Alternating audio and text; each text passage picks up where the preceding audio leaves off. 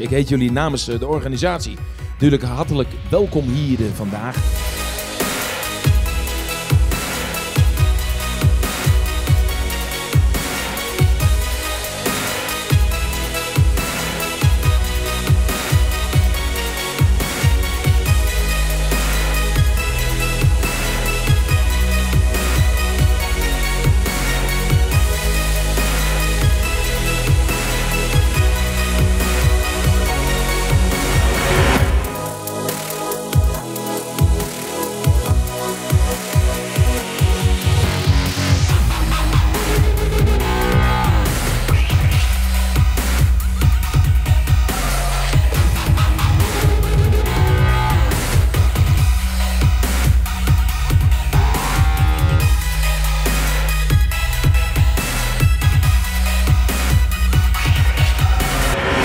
In het eh, toernooi, hè, jongens, de, de 25.000 dollar wordt er, eh, wordt ermee verdiend. En Nordin Ben Mo, Mohammed, Jaraya, jullie zijn eigenlijk eh, ook een beetje maatjes van elkaar, hè?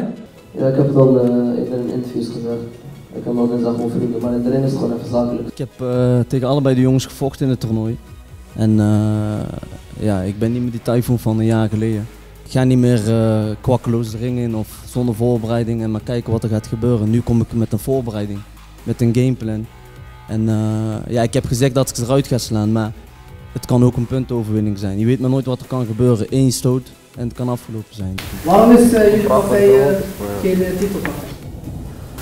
Uh, blijkbaar wil je de titel niet op het spel zetten, maar uh, elke, elke partij is een partij. En, uh, ik train altijd hard en ik nu wel wat gaat gebeuren. En ja, ik hoop dat hij hard gaat trainen in de kans En ik denk dat terug zullen krijgen.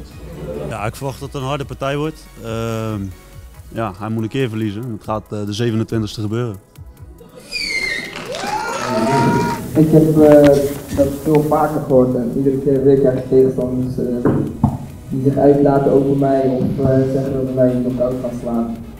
En ik heb het al 41 keer bewezen en ik heb nog steeds iemand tegengekomen die waarvan ik zeg dat ik niet bij van gewonnen. Met de korte, kleine korte wedstrijd voor mij, wandelen.